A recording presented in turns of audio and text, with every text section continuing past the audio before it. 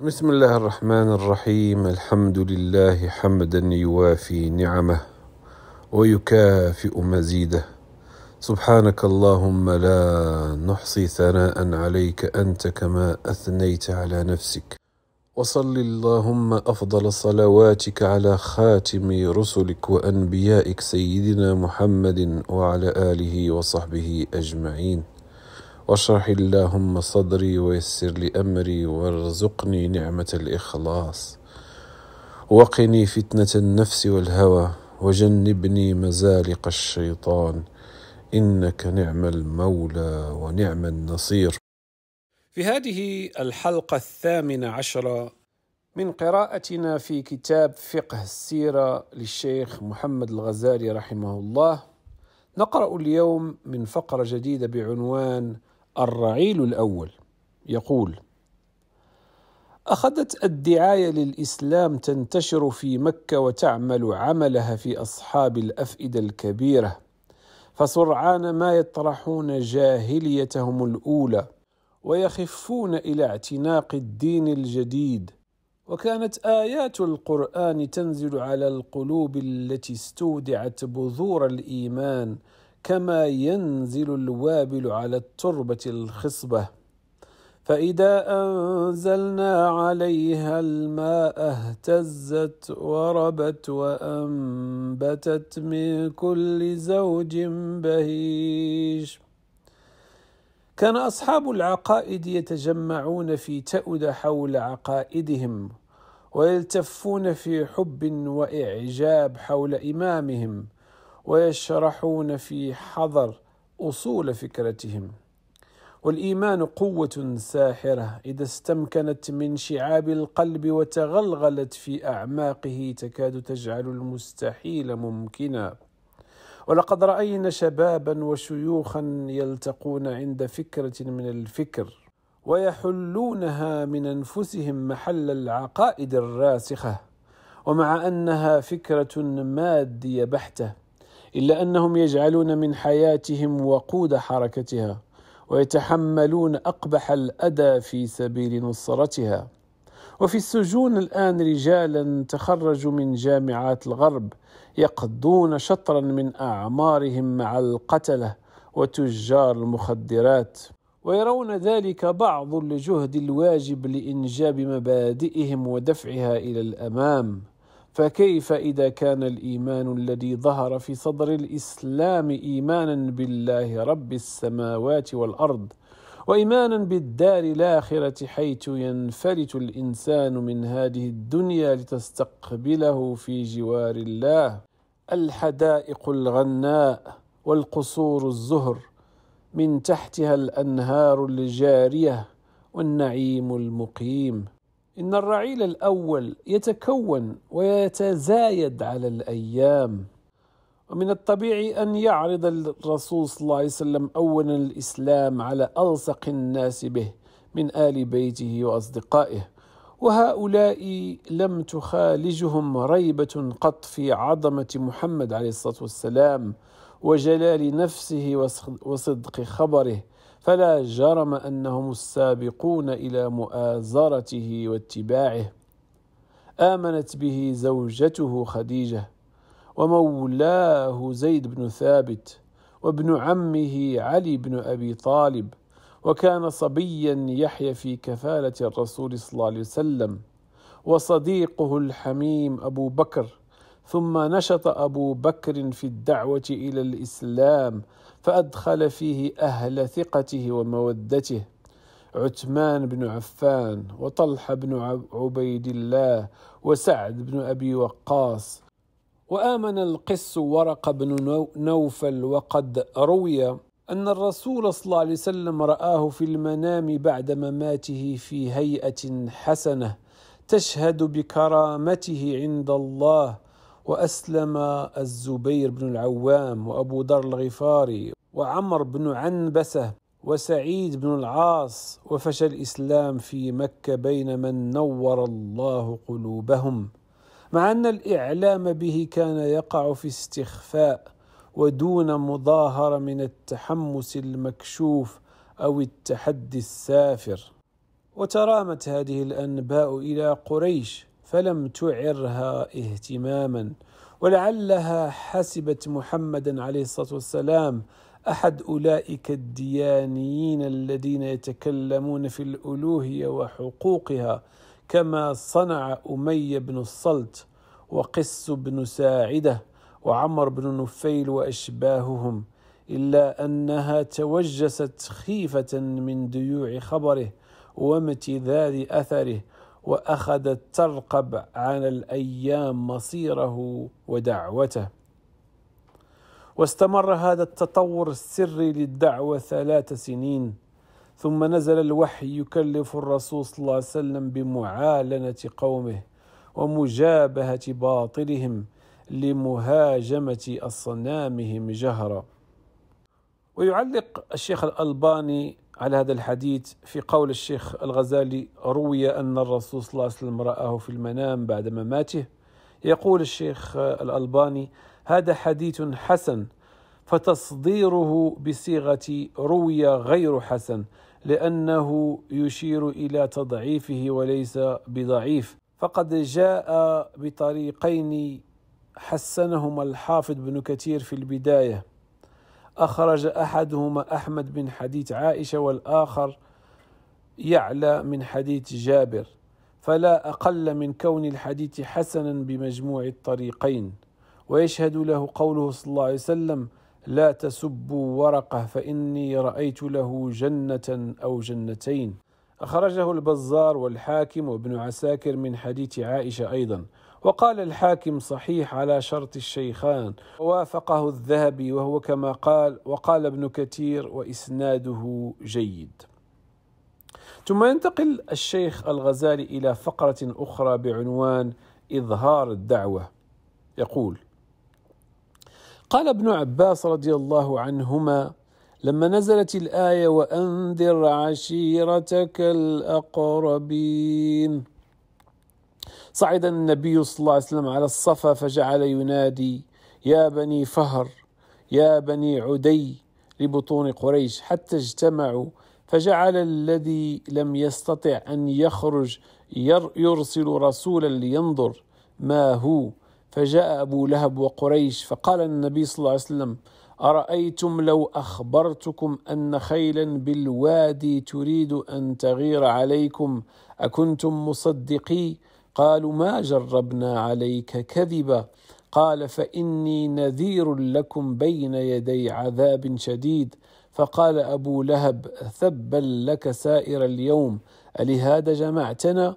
فنزل قوله تعالى تبت يدا أبي لهب وتب. ويعلق الشيخ ناصر الدين الألباني رحمه الله عن هذا الحديث قائلا حديث صحيح أخرجه البخاري ومسلم. وعن أبي هريرة قام رسول الله صلى الله عليه وسلم حين أنزل الله عليه وأنذر عشيرتك الأقربين فقال يا معشر قريش اشتروا أنفسكم لا أغني عنكم من الله شيئا يا بني عبد المطلب لا أغني عنكم من الله شيئا. يا عباس بن عبد المطلب لا أغني عنك من الله شيئا. يا صفية عمة رسول الله لا أغني عنك من الله شيئا. يا فاطمة بنت رسول الله سليني ما شئت من مالي لا أغني عنك من الله شيئا. حديث صحيح أخرجه البخاري ومسلم من طريقين من أبي هريرة. هذه الصيحة العالية هي غاية البلاغ. فقد فاصل الرسول عليه الصلاة والسلام قومه على دعوته وأوضح لأقرب الناس إليه أن التصديق بهذه الرسالة هو حياة الصلة بينه وبينهم وأن عصبية القرابة التي يقوم عليها العرب دابت في حرارة هذا الإنذار الآتي من عند الله. لقد كان محمد عليه الصلاة والسلام كبير المنزلة في بلده مرموقا بالثقة والمحبة وها هو دا يواجه مكة بما تكره ويتعرض لخصام السفهاء والكبراء وأول قوم يغامر بخسران مودتهم هم عشيرته الأقربون. لكن هذه الآلام تهون في سبيل الحق الذي شرح الله به صدره فلا عليه أن يبيت بعد هذا الانذار ومكة موجب الغرابة والاستنكار وتستعد لحسم هذه الثورة التي اندلعت بغتة ويخشى أن تأتي على تقاليدها وموروثاتها. وبدأت قريش تسير في طريقها طريق اللدد ومجانبة الصواب. ومضى محمد صلى الله عليه وسلم كذلك في طريقه يدعو إلى الله ويتلطف في عرض الإسلام ويكشف النقاب عن مخازي الوثنية ويسمع ويجيب ويهاجم ويدافع غير أن حرصه على هداية آله الأقربين جعله يجدد مسعاه محاولا عرض الإسلام عليهم مرة أخرى. فإن منزلتهم الكبيرة في العرب تجعل كسبهم عظيم النتائج. وهم قبل ذلك أهله الذين يود لهم الخير ويكره لهم الوقوع في مساخط الله. وروى ابن الأثير قال جعفر بن عبد الله ابن أبي الحكم لما أنزل الله على رسوله وأنذر عشيرتك الأقربين اشتد ذلك عليه وضاق به ضرعا فجلس في بيته كالمريض فأتته عماته يعدنه فقال ما اشتكيت شيئا ولكن الله أمرني أن أنذر عشيرتي. فقلنا له فادعهم ولا تدع أبا لهب فيهم فإنه غير مجيبك.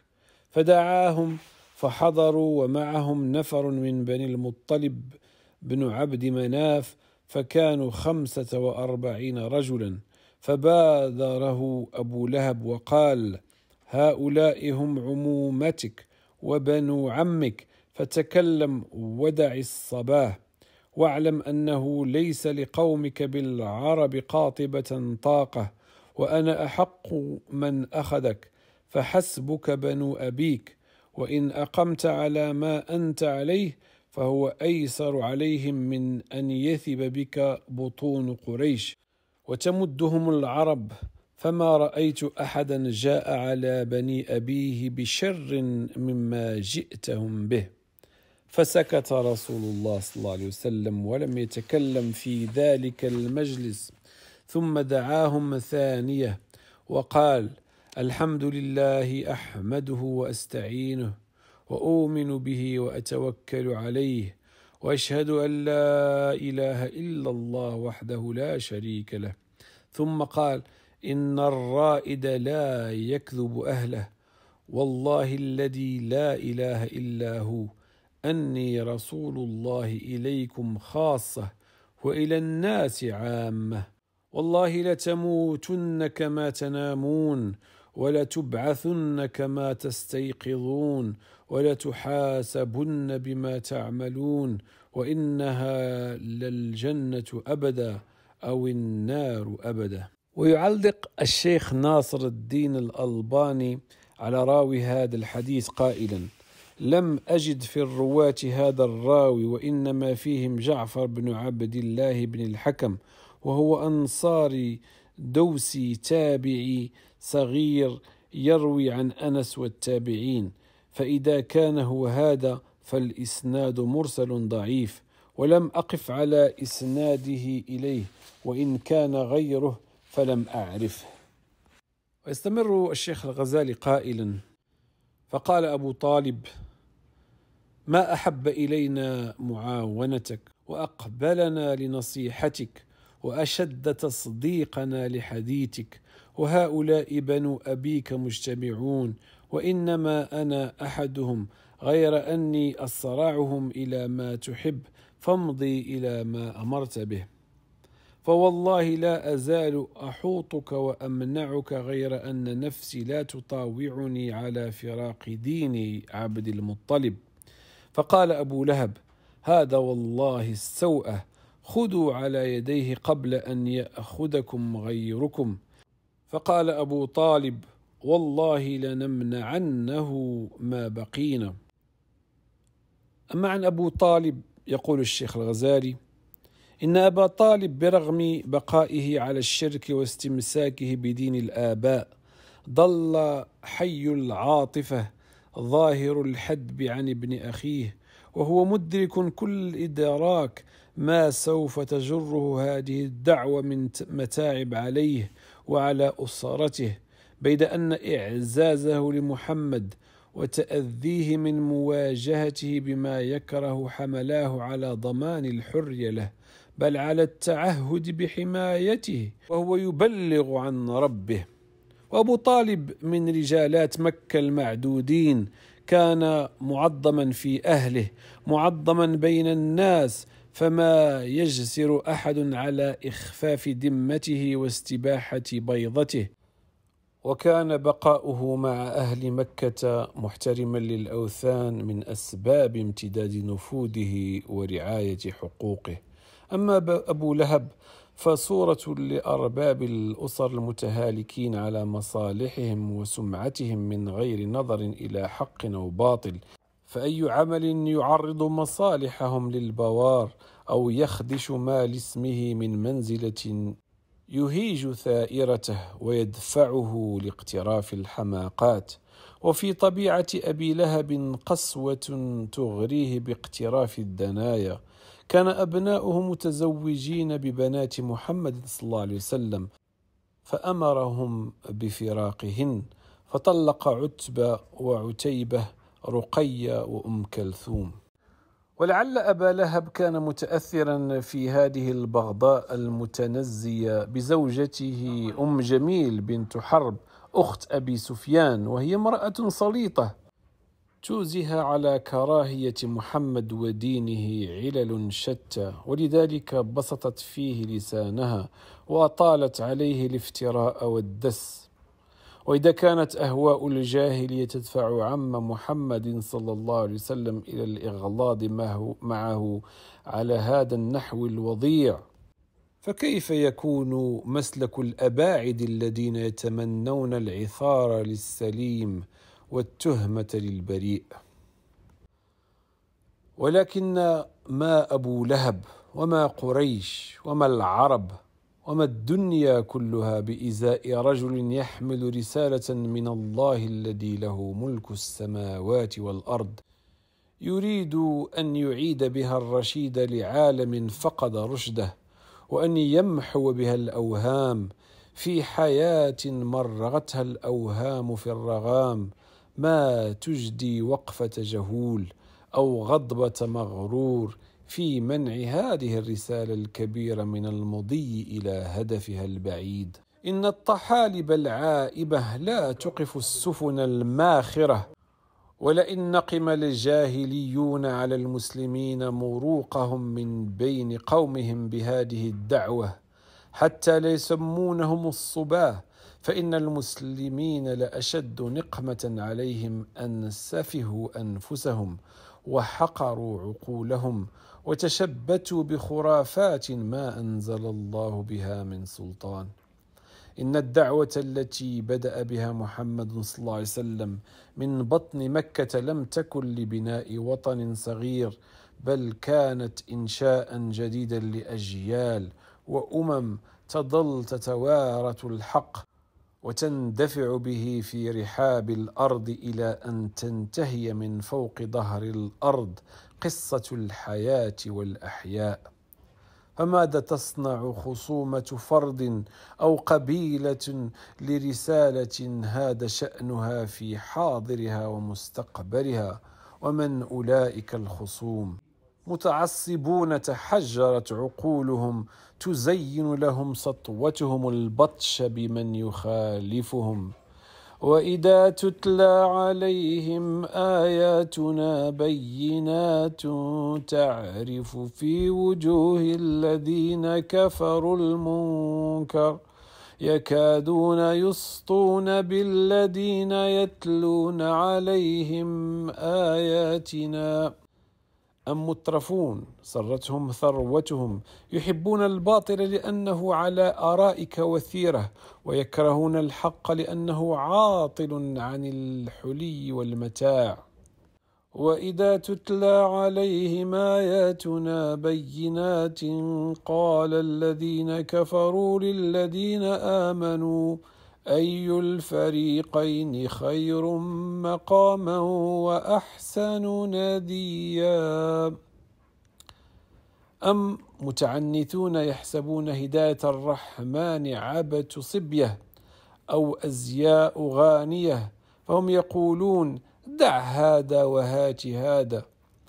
واذا تتلى عليهم اياتنا بينات قال الذين لا يرجون لقاءنا ائت بقران غير هذا أو بدله أو مهرجون يتواصون بينهم بافتعال ضجه عاليه وصياح منكر عندما تقرا الايات حتى لا تسمع فتفهم فتترك أثرا في عقل نقي وقلب طيب. وقال الذين كفروا لا تسمعوا لهذا القرآن والغوا فيه لعلكم تغلبون. لو أن أهل مكة ترددوا في تصديق محمد صلى الله عليه وسلم حتى بحثوا أمره ويمحصوا رسالته يزنوا على مهل ما لديهم وما جاء به.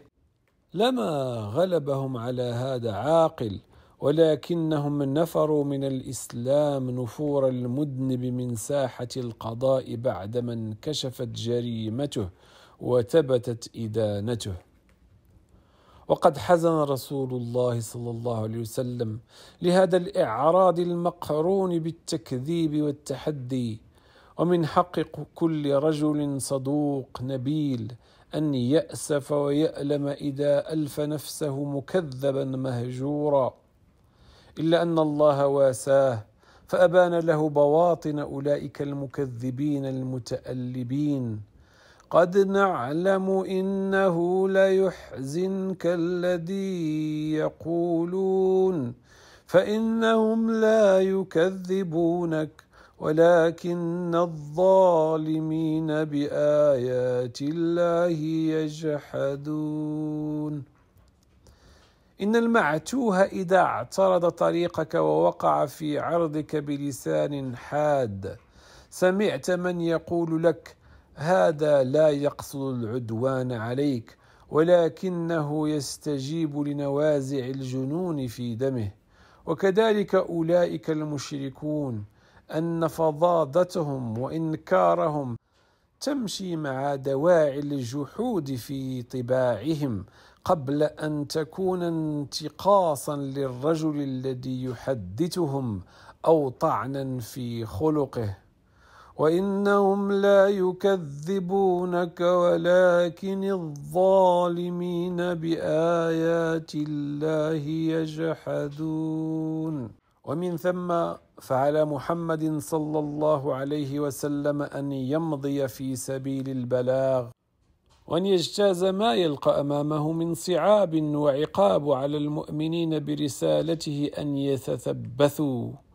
وليس تباثهم لمصلحتهم الخاصة فقط ولا حق الإيمان عليهم وكفى بل هو لمصلحة الأجيال المقبلة. إن البنيان الشامخ الذرى لا يرتكز على سطح الأرض إنما يرتكز على دعائم غائره في الثرى وهي التي تحمل ثقله وترفع عمده. وقد كان أصحاب محمد صلى الله عليه وسلم الأول بصلابة يقينهم وروعة استمساكهم دعائم رسالته وأصول امتدادها من بعد في المشارق والمغارب. نقف إلى هذا الحد وفي الحلقة المقبلة إن شاء الله سنبدأ القراءة في فقرة أخرى بعنوان أرض اضطهاد.